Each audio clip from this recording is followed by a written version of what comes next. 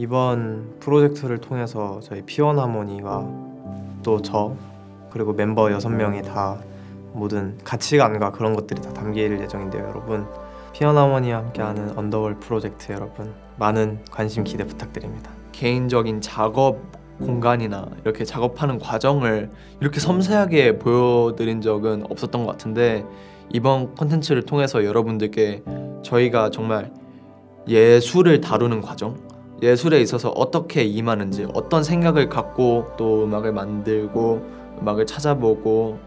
또 영감을 받고 이러는지 많이 여러분들께 알려드릴 수 있을 것 같아서 Thank you guys for tuning into Wonderwall and seeing what the process is like of us uh, making an album and how we come up with the ideas and our looks and our, um, you know, really anything from the beginning to the end of what it's like to make an album. Um, I hope you guys really enjoy watching this and seeing how much we put into our um, music. この「ワンダーワールド」を見てくださってる皆さんへ僕たちがこの 動画を見ると僕たちが作曲をする様子なそういうのが分かると思うんですけど僕が伝えたいのはそれもそのどうやって作曲をしてるかっていうのも重要なんですけども